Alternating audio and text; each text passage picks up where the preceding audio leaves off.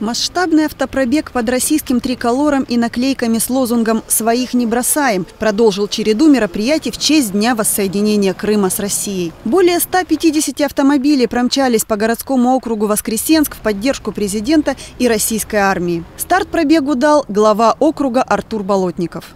Нашим ребятам эта поддержка очень нужна, чтобы вы понимали. И, соответственно, я хотел вас поблагодарить за активную жизненную позицию, за то, что вы выбрали время, выходной день, чтобы провести эти мероприятия. Воскресенск у нас за мир, за победу и за президента. Спасибо за ваше участие.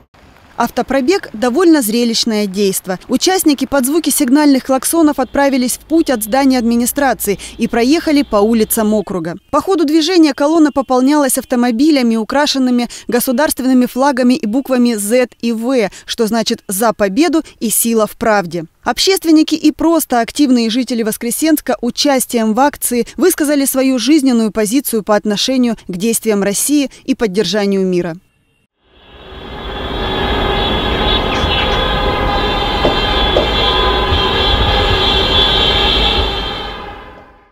Организовать движение на дорогах помогли сотрудники ГИБДД. Встречные и попутные автомобили приветствовали участников ответными сигналами. Автопробег объединил всех, кто хотел и мог показать моральную силу и уверенность в правоте нашего государства. Юлия Тиунова, новости Искровект.